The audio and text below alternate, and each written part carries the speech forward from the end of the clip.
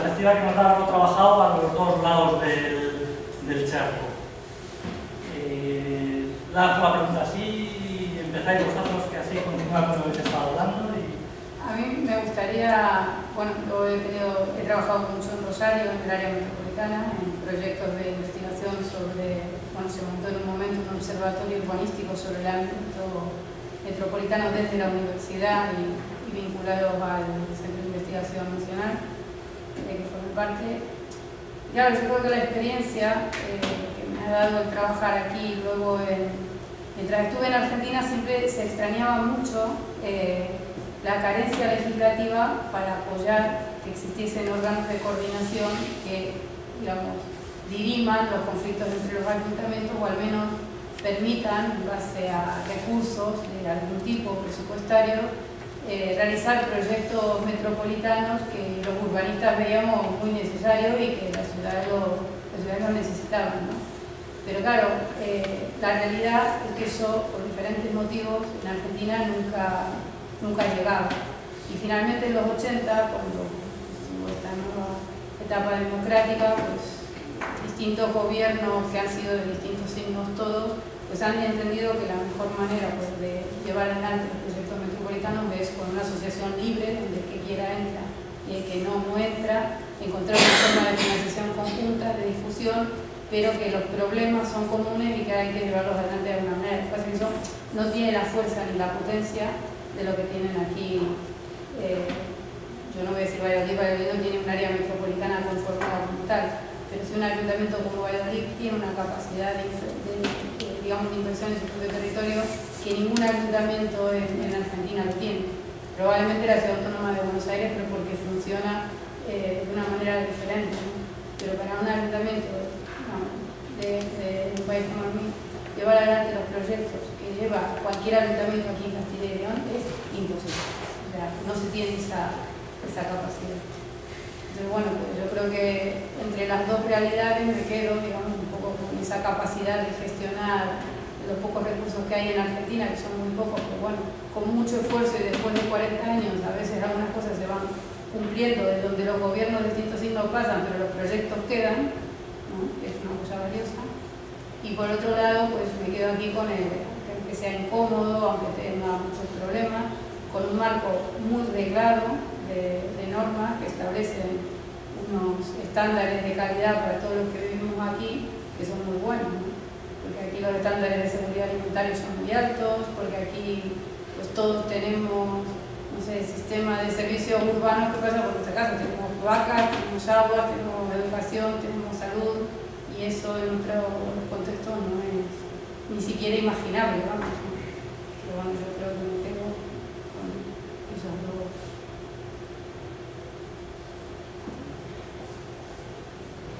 Verías que se, siempre hace el escagueita total.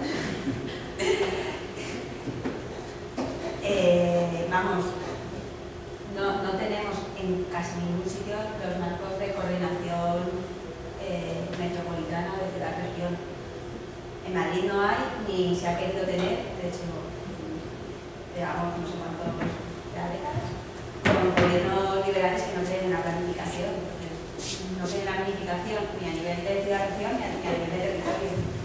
Eh, se pueden dar esos procesos y que exista una figura de coordinación formal por alianzas entre municipios, pues, pues eso. O sea, rebaja mucho la, capacidad de, de, actuar.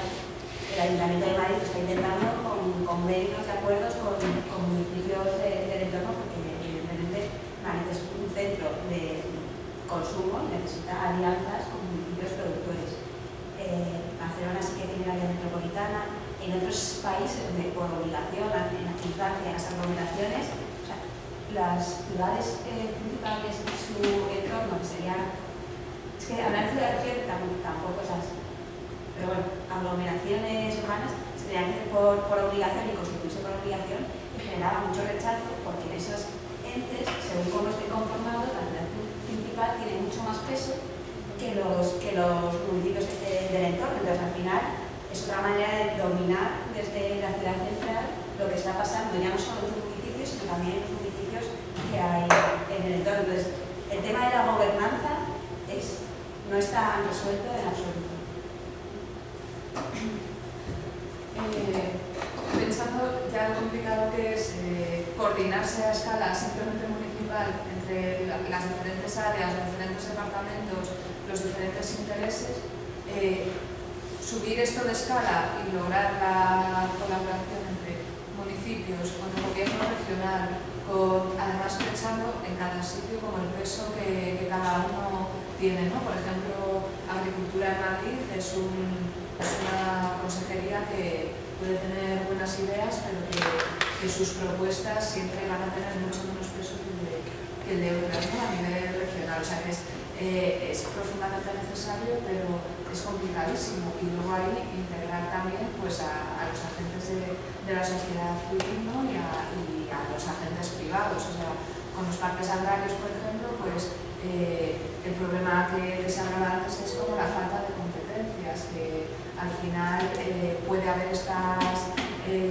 espacios de encuentro, de propuesta, de gestión, pero no, están, eh, no tienen una capacidad de vinculante en las decisiones sobre el territorio. ¿no?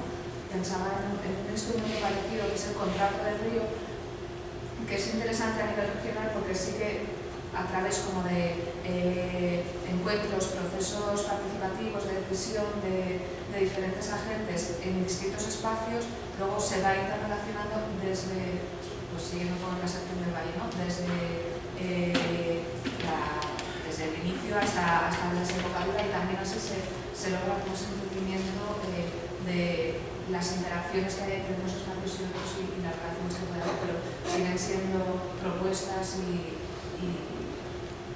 espacios que no, que no, tienen una capacidad normativa, una capacidad de... Eh, es vuestro tiempo de alzar la mano, alzar la voz, preguntar, comentar y, y plantear también un poco el, el debate. Entonces, eh, ¿quién, ¿quién, se apunta? Si no, tenemos más cosas para, para seguir hablando. ¿Qué dices? ¿Que no les dejáis? Aquí. ¿Había un... yo, yo voy a decir una cosa, una cuestión que no sé si te responde a tu pregunta, que es muy genérica o no, no sé si la he entendido bien, pero sí que desde la perspectiva del planificador, de la experiencia de la planificación, cuando hablamos, eh, cuando hablabais en el discurso de, la, visión de, la bioregión, ¿no? traerlo al tema de la agricultura urbana y a, la perspectiva se trabajando. ¿no? Cuando, eh, al trabajar eh, desde la visión de la, necesidad de planificar a la que te llevan cualquier reflexión de este tipo, es decir, necesitamos un modelo urbano, más que modelo urbano, un modelo territorial.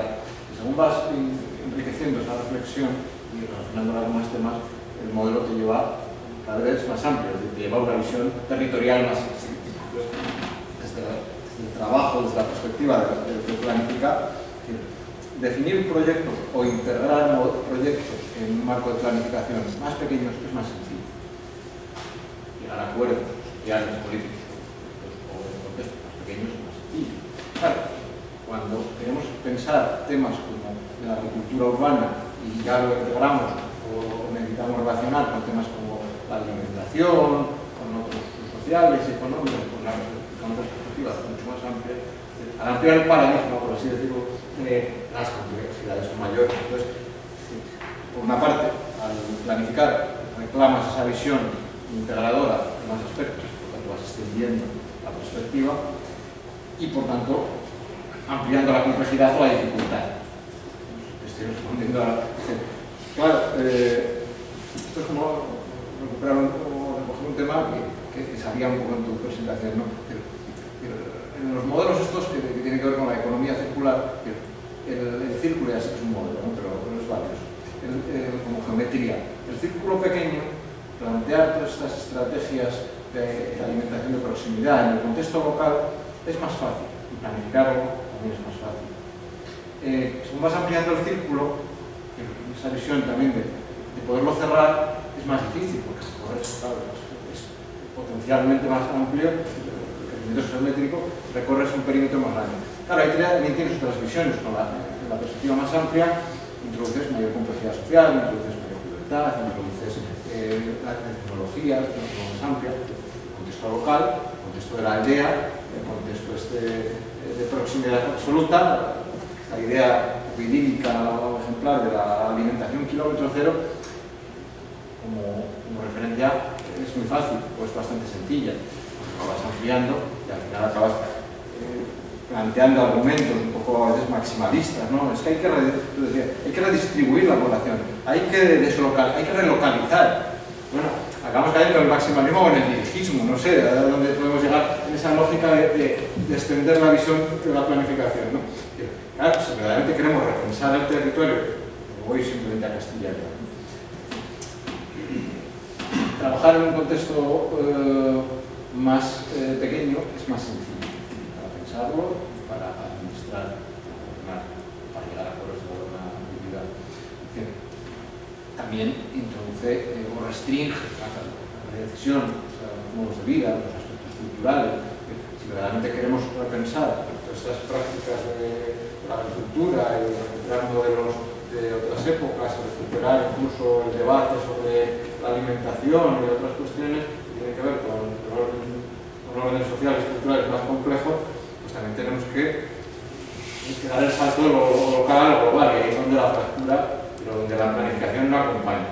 La fractura entre el salto y el círculo es más difícil.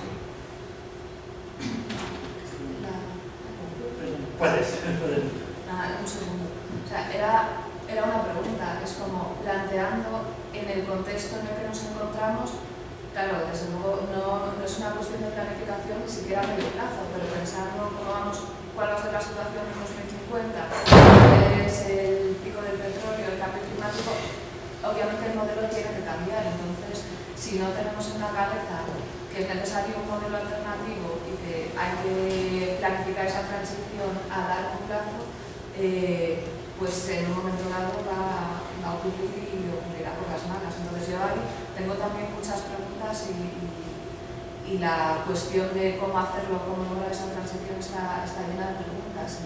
Desde luego tiene que ser un, un proceso que, que, sea mixto en un primer momento, pero bueno, las grandes, los maximalismos como horizonte de futuro, pues luego quién sabe, o sea que como veíamos ayer, eh, los futuros posibles en, en, el territorio, en la ciudad, en, en el urbanismo, ah, siempre ha sido de otra manera, pero vamos, que los problemas son muy grandes y, y que, que, tampoco es, es posible la, la inercia de, de sí, pero, si, pero si no los descomponemos para trabajarlo, sí, que a veces el modelo, el modelo que el modelo territorial, el modelo demográfico, el modelo económico, el modelo alimentario, el modelo nosotros, hay muchos modelos.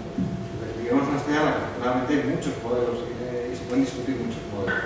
Entonces, eso es lo que es difícil de integrar en una sociedad de planificación. Desde luego, automáticamente hay que desglosar o desgranar para abordar. No, no hay un modelo.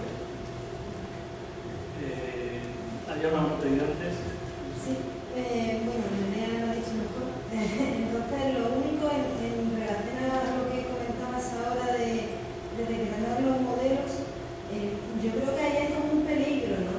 Porque al final es como que vamos segmentando ¿no? diferentes áreas que muchas veces están como muy relacionadas entre sí y que a lo mejor el, el urbanismo es una pata de, de, materialización de una determinada sociedad, pero que, que, que cómo se estructura la sociedad rural o el mundo rural en relación a eso es otra, es otra pata y la energía otra pata y, y el agua otra pata y, y, hemos visto hoy además como encima todas esas patas enganchan en, en un mismo modelo, ¿no? que es la sociedad eh, que vivimos, que es a, a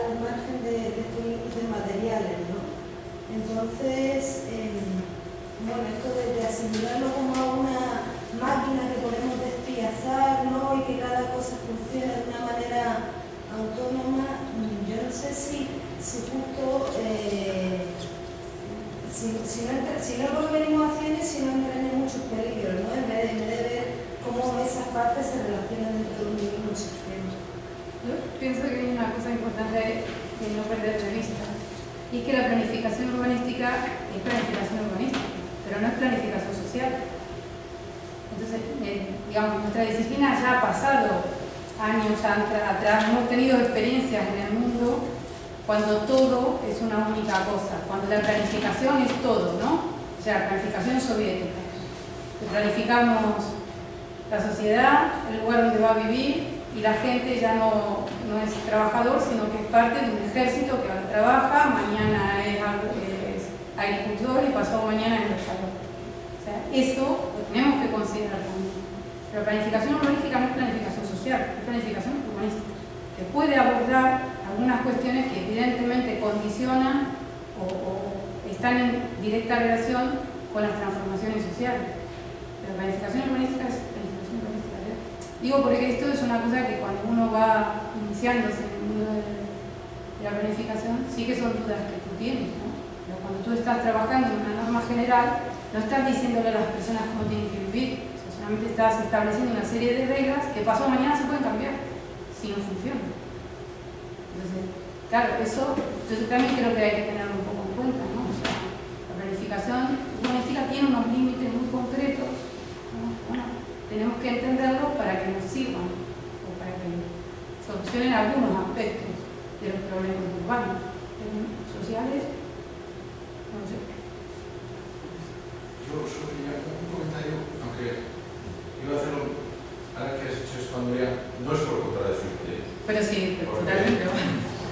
pero A lo mejor aprendo algo. yo llevo 25 años dedicado al urbanismo y a la planificación y quiero decirte que no me interesa. La planificación urbanística no me interesa. Nadie, salvo en algunos momentos, para insultar el urbanismo es el problema de este país. No sé si me entiendes, ¿no? O sea, sin embargo, a mí me parece que la alimentación le interesa todo. Entonces, eh, hay cosas que el Ministerio de Hacienda, por ejemplo, la Economía y Hacienda, ¿cómo se utilizan las palabras que ahora tienen estos programas, las famosas EUSI? ¿no? No le cuesta nada, o sea, hace estrategia de desarrollo sostenible. No, ahora tiene que ser integrado, e integrado. Pone la palabra integrado y ya está. Solucionado. Ya ha conseguido todo lo que te preocupa apoyo, lo ha conseguido en el decreto, todo tiene que ser integrado. ¿Entiendes? Y va a ser integrado y se va a integrar. ¿Por qué? Porque lo dice el ministro, que va por el secretario de Estado. Claro, decir el enfoque integrado es uno de los desafíos más grandes que ha tenido la planificación siempre, porque efectivamente la planificación espacial tiene una dimensión espacial, pero hay un, un alcance social indudable. Pero no le interesa a nadie, en cambio la alimentación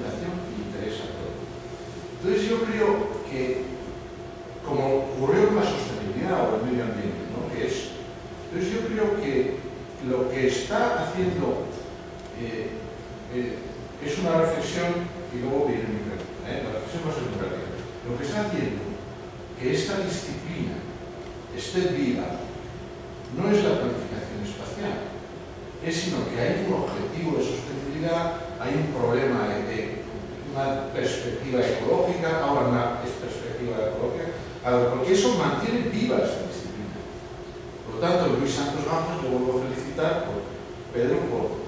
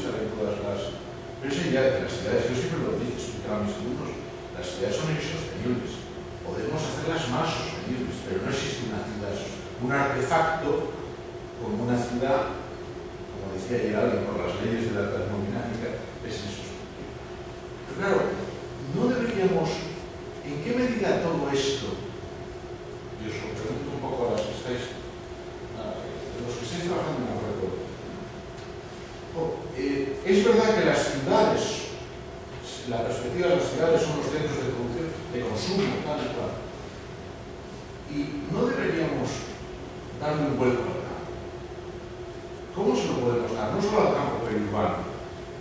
¿Cómo, ¿Cómo todo esto puede ayudar, de verdad? Bueno, estamos estableciendo, ayer lo decía eh, el profesor de, de Granada, no, la creación de sistemas, y yo he leído algo sobre esto, sí, los sistemas eh, eh, locales agroecológicos, ¿no? Claro, pero esto estamos hablando de una ciudad donde hay sistemas de relaciones, y os pregunto,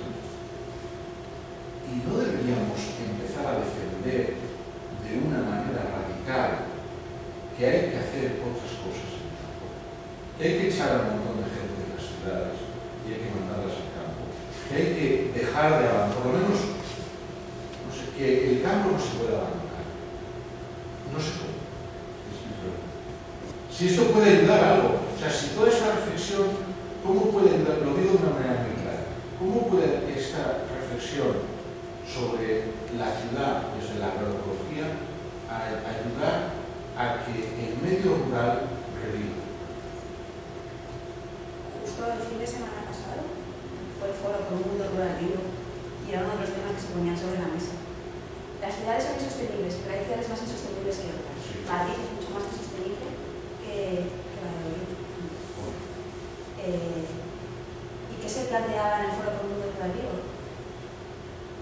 Que frente a otras maneras de abordar el problema del mundo rural, que era pues eh, revitalizarlo atrayendo turismo o atrayendo otro tipo de actividades, la alimentación sí que tiene potencial, porque la alimentación, los alimentos se cultivan en el campo.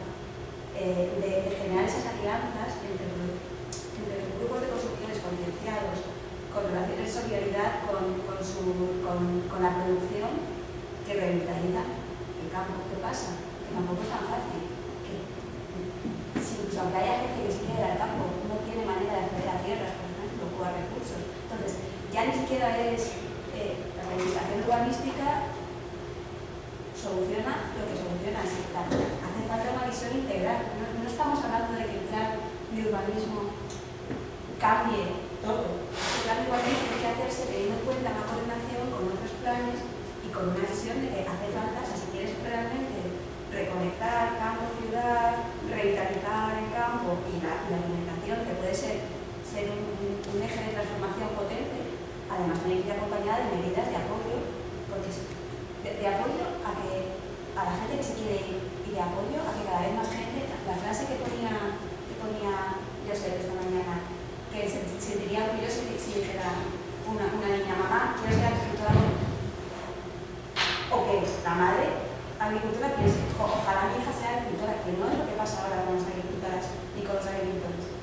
Entonces, es un trabajo para mí de cambio cultural, de cambio cultural profundo y estamos ahí muchas... Hay una cuestión que dices, has hecho varias cosas, pero una cosa que dices es cambio cultural, esto, la madre orgullosa. A- Ayer dijo alguien una cosa importante, no hay una educación, así como hay una educación, oye, miles de cursos de peluquería, y has dicho crear bancos de tierra, pongamos, crear bancos de tierra, Sí. tenemos que hacer bancos de tierra. Sí. Conclusión, hay que hacer bancos de tierra. Yo, yo voy a saltar aquí un momento, porque hay, hay una cosa que para mí está clara. En esta dialéctica campo-ciudad yo creo que, que la, batalla, la batalla fundamental son los servicios. Porque para plantear cualquier estrategia eh, regenerativa, de cambio, productiva del medio rural, es imprescindible eh, que haya servicios. Pero eh, la dispersión de servicios en el medio rural también es una forma de insostenibilidad, porque ahora mismo hay servicios que son muy caros y que llegan a muy poca gente. Y eso está re- realimentando un poco un círculo vicioso en el cual la gente se va del campo, si la gente se va del campo, deja de cuidarlo y deja de proveer los servicios y los bienes que la ciudad está necesitando. Así que eh, yo planteé una, una nueva estrategia para ofrecer servicios. Servicios me refiero a salud, me refiero a educación, me refiero a movilidad, también el, propio servicio, el propio servicio alimentario, también las telecomunicaciones, es decir, todo, todo el paquete. Tenemos que repensarlos porque la ciudad es la que puede eh, pagar de alguna manera, la que puede implantar servicios en el medio rural, pero tiene que haber un análisis también coste-beneficio en el que tiene que incluirse eh, lo, que, lo que la propia ciudad recibe del medio rural. A mí me parece una cuestión, una cuestión clave y que está sin abordar desde un punto de vista estratégico. No tenemos una idea clara, no sabemos cómo vamos a resolver el tema de los servicios en el medio rural. Y mientras no lo sabemos, los servicios se pierden y el medio rural se abandona. Entonces, yo ahí me entra una duda y es, no, vale, o sea, tenemos pueblos que se van abandonando que podrían ser virtuales lugares donde se, eh, digamos, se relocaliza esta industria de agroalimentaria vinculado al consumo, digamos, alimentario sano. Pero luego la realidad es que, claro, por ejemplo, aquí en la ciudad de Valladolid, ¿no? yo sí que presto atención a de dónde vienen las cosas que compro. Y de aquí de Valladolid, Valladolid, tú puedes comprar patatas, cebolla y algunos tomates. Y con suerte los espárragos de Tudela, porque todo el resto viene del resto de España, del norte, del sur, o, o, de, o de, sí, vamos, porque te vienen los mangos de Perú, de Argentina vienen ajos, aunque te parezca increíble, en esta tierra que vengan ajos de, de Argentina, digo, ¿cómo pueden comprar un ajo de Argentina? No saben lo que están comprando, hay ajos de Argentina. Pasa que lo tienes que preguntar, porque si no, no te dicen. Entonces, claro, yo digo, este, este campo que, claro, tenéis una ventaja en el tenemos una ventaja en el campo es pobre, no sirve para cosechar soja, porque si no tendríamos otro problema, como es en Argentina, que nadie quiere campo cerca porque campo cerca es herbicidas, muchos problemas de convivencia que no son fáciles de resolver y que se toleran porque es el motor de la economía argentina. Nuestra balanza comercial, si no fuese por las hojas, estaríamos... Entonces, bueno, aquí este campo pobre que podría dar para el autoabastecimiento resulta que luego en, lo que circunda alrededor de Valladolid no, no autoabastece. O sea, no autoabastece Murcia, Valencia, ¿Cómo se resuelve ese problema? ¿No? Porque aquí se puede cultivar lo que se puede cultivar. Digo yo, no sé. Tú has dicho una cosa, pero... Que, a mí me parece interesante, pero es que yo no sé qué es. Que, que, me resuena un poco, a lo mejor no es así, ¿eh? pero resuena un poco en algunos discursos próximos a esa línea, a eh, más que recuperar, más que entrar en el discurso de cómo repensamos eh, el mundo agroalimentario, cómo nos probemos y cómo recuperamos el, campo, el medio rural, es el, reto sobre que estamos hablando, es decir, cómo recuperamos formas o estructuras del medio rural eh, como lo conocemos aquí, que no tiene nada que ver con la agricultura industrializada, con la, con la producción, que por otra parte tiene que ver con los modelos económicos y de consumo que tenemos. Entonces, claro, pues es distinto. O sea, el problema, cuando hablamos de territorio, empezamos con estos problemas en Castellón, toca decir, bueno, ¿cuál es nuestro medio rural? Pero claro, ese medio rural, que de una manera un poco idílica a veces trasladamos a la visión nostálgica de, cómo recuperamos ese, esas estructuras, pues es un problema que tenemos a la, la planificación o, a la, la ordenación territorial, o eso que se llama ordenación territorial, que creo que no sea así, pues es, es algo diferente a el, tema de la provisión de alimentos y el tema de la agricultura como lógica productiva, porque ahí ya, eh, estamos otra vez en la discusión lo local y lo global, o sea, si yo quiero recuperar la agricultura de proximidad, la agricultura tradicional, los usos y modos de, vida, es una cosa. Y si quiero pensar cómo tenemos que proveernos y cómo integrar o reintegrar en la ciudad eh, el, mundo rural, es, es, otro discurso. Se dicen muchas mentiras. Son escalas. ¿Sabes? Yo estoy de acuerdo con en En se dice que los servicios en el campo son caros. Tenemos dos cosas. En educación, el verdadero derroche en educación se está produciendo en los hospitales, están en las ciudades. Los centros de salud están al límite, no son tan caros.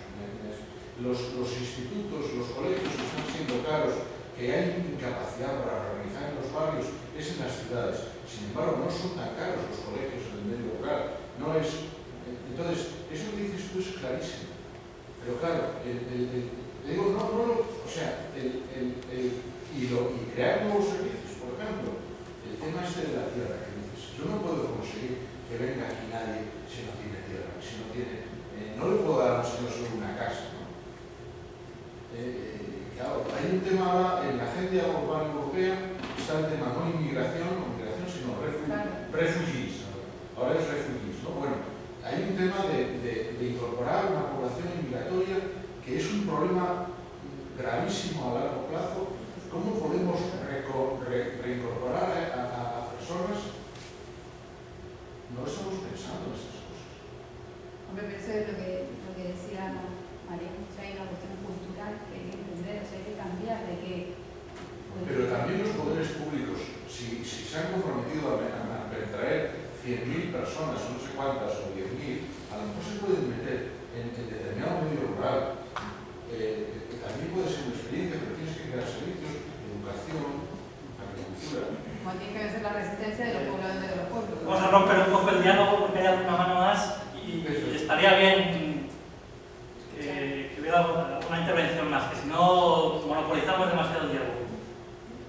que, bueno, yo creo que hay que crear servicios, ¿no? Pero veo difícil que ese eh, cambio cultural solo se dé por eso.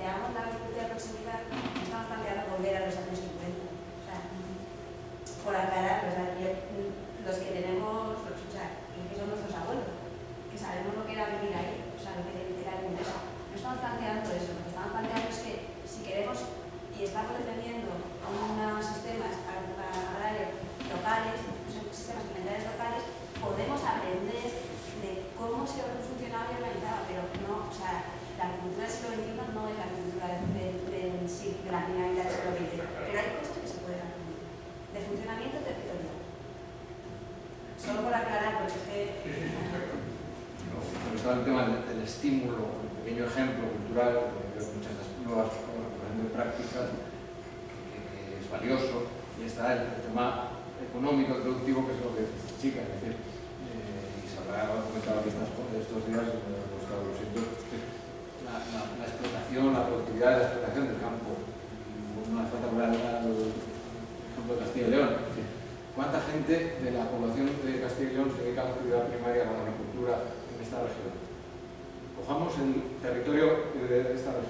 quitemos los usos urbanos, urbanos, potencialmente urbanos y su expansión, quitemos todos los espacios protegidos, la red natura la quitamos entera.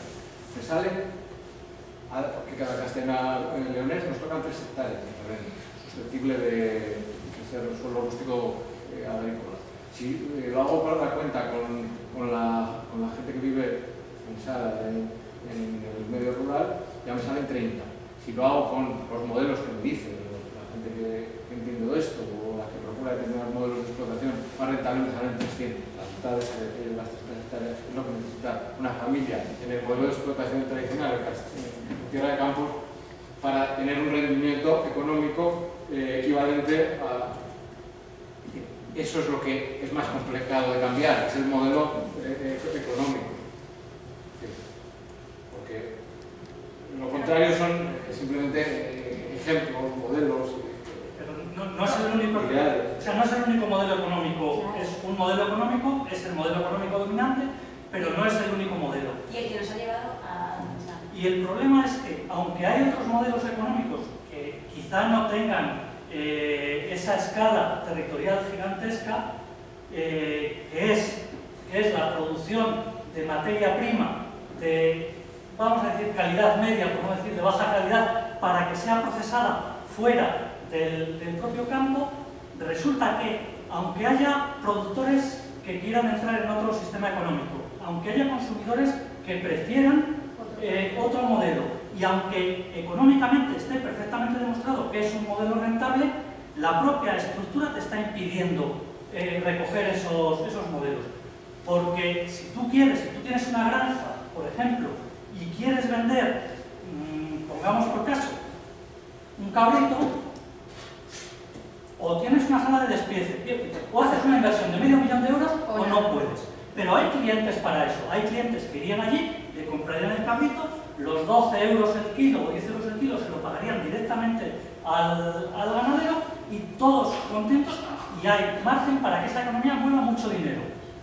Pero, pero el, el ganadero acaba en la cárcel por competencia del En ley. la, en la ganadería eso es... Tú pasas los Pirineos, tú pasas los Pirineos y en una granja francesa el, el granjero te aloja en su instalación, te da de cenar, En te mata un pato, te, da, te vende foie gras, te vende queso. Quiero decir, y es la misma normativa europea y es el mismo eh, contexto global, pero hay una voluntad real de potenciar ese tipo de economía y se puede, y es una economía muy potente, muy Sí, potente, potente. eso pasa, pero es verdad que, hombre, aquí tradicionalmente en Castilla, por ejemplo, la agricultura, aunque era pobre, ha sido extensiva. O sea, No, sería... que dices, que dices, mira, en los pueblos del Alfón de Valladolid hay al menos cuatro mataderos municipales construidos en los años 80 que se cerraron, que se cerraron por eso norma. y no les dejaron ahí les, eh, eh Simancas tiene un edificio de ladrillo ahí, pequeñito, era un pequeño centro de pies, un pequeño matadero pequeño. no, no, es que esto, esto es una norma pues aquí, yo es que digo hay que hacer cosas, crear un banco de alimentos yo no digo hay que hacer bancos de tierra y hay que cambiar la normativa sobre el despiece. Pero, pero París, por ejemplo, en Holanda tienen mataderos portátiles. Sí, hacen lo que quieren los franceses, hacen lo que quieren. La, la normativa... no, Pero en pero el País una- sí que te hacen Muchas veces son los, tiempos que tenemos en, en las Eso de la consejerías. de- Tenemos las consejerías que quieren hacer normas fáciles. Bueno, son las 8 menos cuarto. Eh, yo creo que va siendo hora de irse. Estas chicas tienen que coger un tren. Estamos cansados, llevamos mucho tiempo de, de trabajo. Eh, yo creo que, que lo que queda es agradecer a los resistentes y las resistentes que habéis aguantado todas las jornadas. Yo estoy muy contento con, con cómo se han ido desarrollando, con los debates, con los temas, con, con todo. Ha sido un placer compartirlo con vosotros y, espero que sirva un poco pues, para, para estimular también que haya más, más espacios de debate como este. Muchas gracias a todos y a todas. Y...